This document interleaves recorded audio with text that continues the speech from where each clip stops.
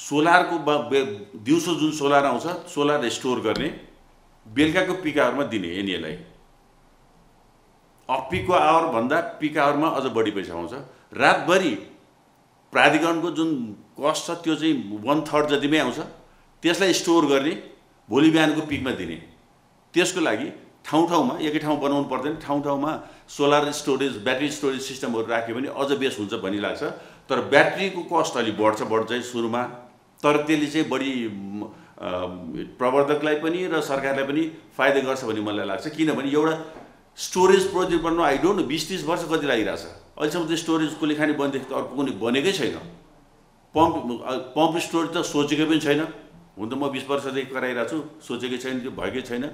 र स्टोरेज पनि हुन सकेको छैन। खालि अलिअलि पोन्डेज टाइपको स्टोरेज मात्रै छ। त्यो त्यतिले काम गर्दैन। तर यो यसले गर्ने भने हरेक एक वर्ष अथवा दुई वर्षमा स्टोरेज आउँछ एकै ठाउँमा धेरै बनाउनुपर्छ भन्ने छैन।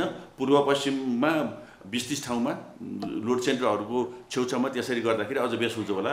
र गुरुजीले भन्नुभयो कि हरेक पावर प्लान्टमा एक एक मेवाट राख्न दिएदेखि त हामी राख्छौँ भन्नुभयो।